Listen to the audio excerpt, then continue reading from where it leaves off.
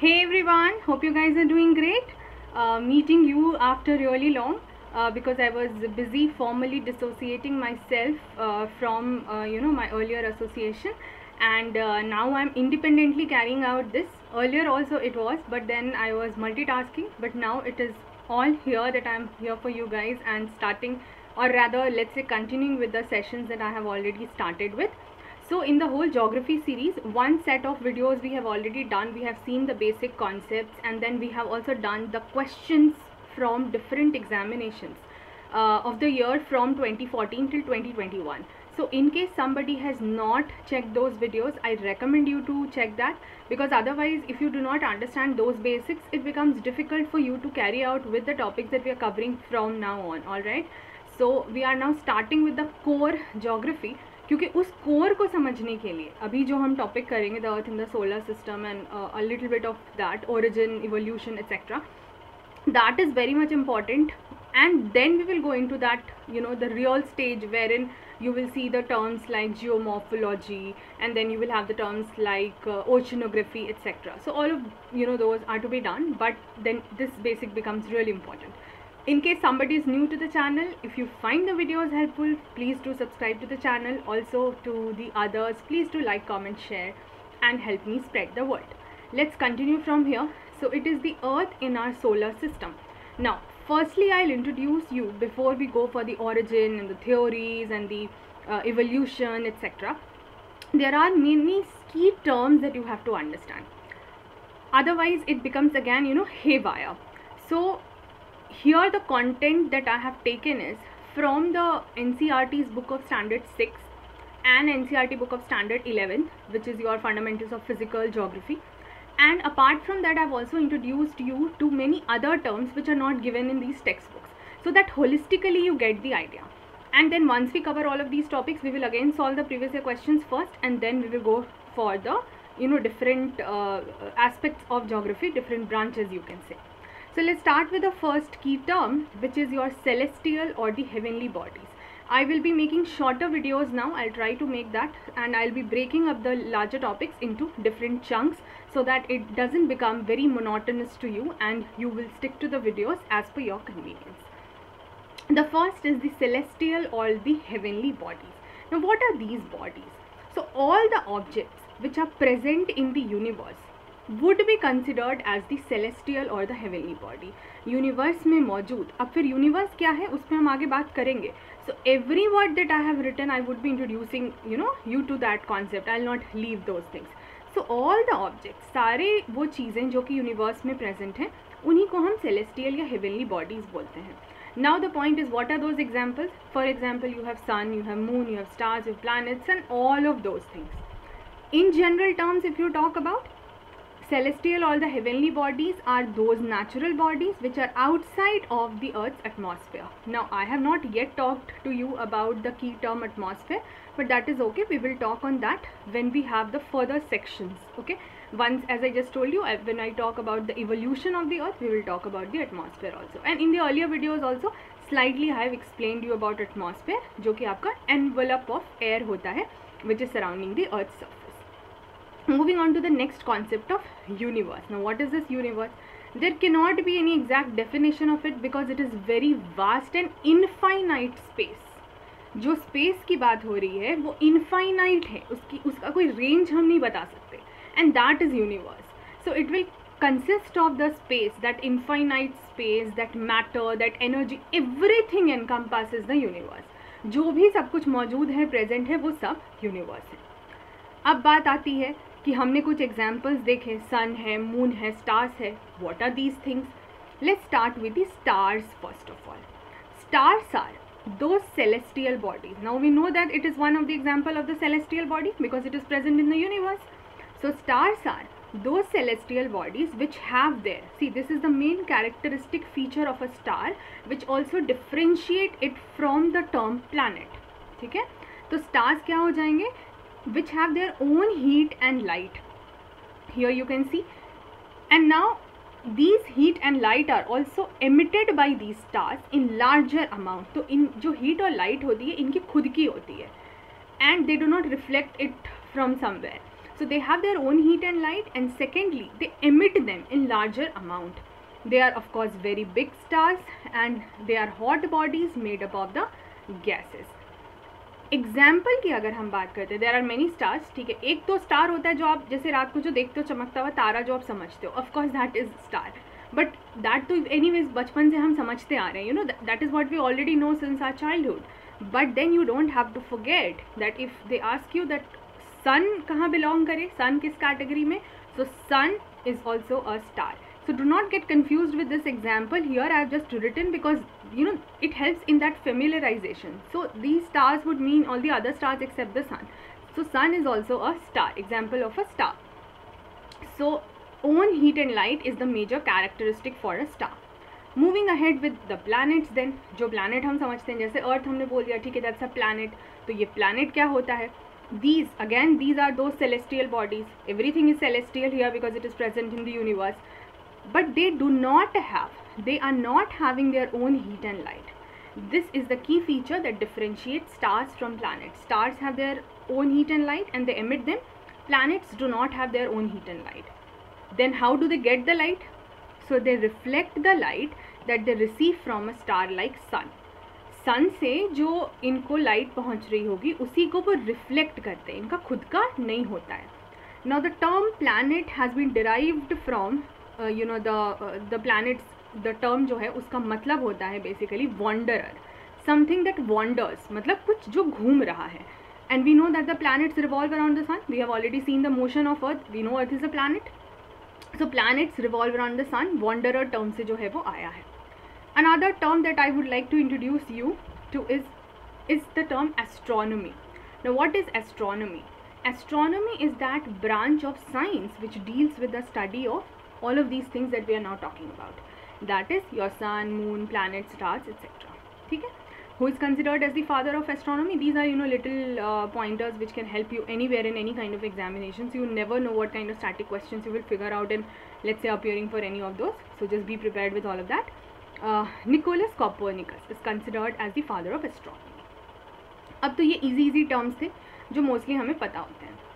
Now the main term figures out that is galaxy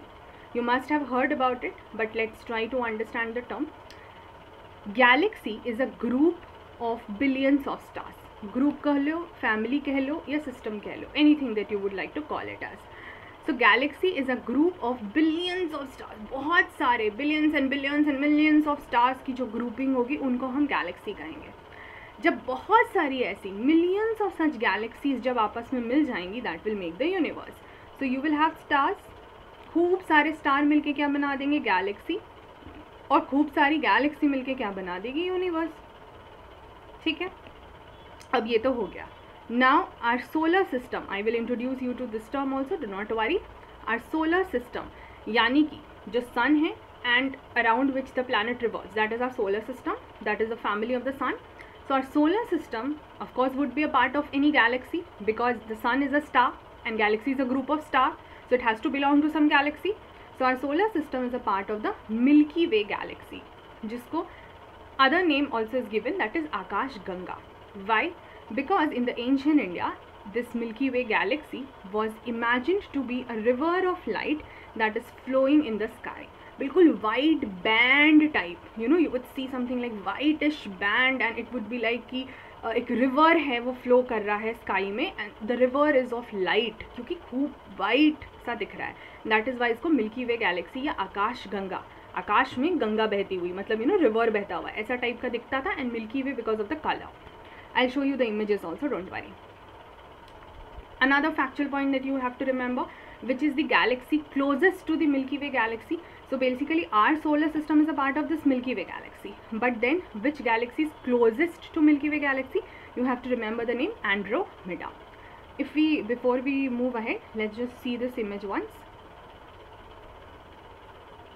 ठीक है? This you can see milky way galaxy इसी को detail में यहाँ पर आपको दिखाया जा रहा है। तो अगर ये हम पूरा इस तरीके से कंसिडर करेंगे तो local group of you know different galaxies तो आपको यहाँ पे दिखाई देगा, यहाँ पे अगर मिल्की वे गैलेक्सी है तो यहाँ पर आपको एंड्रोमेडा गैलेक्सी दिख रही है। Then introducing you to the another term which is your nebula बहुत जगह पे ये टर्म आएगा specially when we will do the topic on evolution of earth you know like origin of earth and then evolution of earth so उसमें ये बहुत जगह आने वाला है so you should be familiar with it nebula is basically the clouds of gases and dust found between the group of stars ठीक है? तो स्टार्स के बीच में जो आपका पूरा स्पेस है that cloud that space which is just full of gases and dust and फिर उसमें से बीच में नए स्टार्स आर बॉर्न वो कैसे होता है evolution formation of the stars how does it happen that all of that we will do once we are done with the terminology so you don't have to worry about it so just remember about the cloud of gases and dust ठीक है this is nebula that you have to remember another term is constellation now here also you will see that i have written that it is group of stars now here you are also seeing कि भाई galaxy भी group of stars थी constellation भी group of stars है how does it differ then there has to be some difference now galaxy is just a group of stars you know like the combination that we have talked about but constellation are those groups of stars which form a certain imaginary shape वहाँ आपको एक shape समझ में आता है। Galaxy is just a grouping, random grouping. अब one major example of the constellation is Ursa Major या big beer constellation ये बहुत फ़ेमस होता है। उर्सा मेजर या बिग बियर दोनों इसी के नाम है। इसी बिग बियर कॉन्स्टिलेशन का एक छोटा सा हिस्सा होता है। There is a part of this big bear constellation which is called a small bear constellation जिसको बिग डिपर भी बोलते हैं। अब यहाँ पर आपको समझ में आएगा। इसी कॉन्स्टिलेशन में you will see this Saptarishi या seven saints I show you this again which is ये आपने हमेशा बहुत सारे लोगों ने आई होप सुना होगा। A group of seven stars आसमान में आपको सात तारे दिखते हैं। आप कभी आसमान में देखिए when there is the sky is clear notice the seven stars. I'll show you how they are arranged and how the, uh, do they look like. That is called as sapt rishi. That is Hindi में हम उनको seven saints की तरह समझते हैं। Group of seven stars so that is a part of the small bear constellation अब देखते हैं एक बार इसको, यहाँ पे। Seven stars that I talked about one two three four five six and seven ये इस शेप में होते हैं, ठीक है? अब क्या है? ये जो सप्तऋषि, सात स्टार्स इस तरीके से जो अरेंज हैं तो लेट्स से अगर कोई यहाँ से देख रहा है the observer is here let's say you are observing from this direction तो ये जो दो स्टार्स आपके सीधे रेंज में लाइन में आएँगे, अगर आप उनको पॉइंट करके देखेंगे, इसीलिए we call them as the pointer stars also so if you just try and look from here जो ऐसे है, जब आप सीधा देखेंगे ना तो यू विल सी कि यहाँ पर एक पोल स्टार होता है। ठीक है? एक स्टार जो कि हमेशा सेम पोजिशन में रहेगा in the sky Now this pole star is also called as north star और Polaris. This star has its significance because it helps in determining the north direction. So, especially in the earlier, see now the technology is very much advanced, but earlier when, you know, the astronomers wanted to uh, know about the direction, determine the direction. So they used to take the help of this pole star or the north star because it was always point out in the direction of the north. And it will remain in the same position in the sky so it's very easy to figure this out अगर आप सप्तऋषि के through इसको इस तरीके से देखेंगे तो ये दोनों स्टार्स को पॉइंटर स्टार्स बोलते हैं इसको पोल स्टार बोलते हैं नॉर्थ स्टार या पोलैरिस भी बोलते हैं। Now we will come across the major term which is of solar system अब भाई सोलर सिस्टम क्या है? सो so, यहाँ पे you are coming across this term solar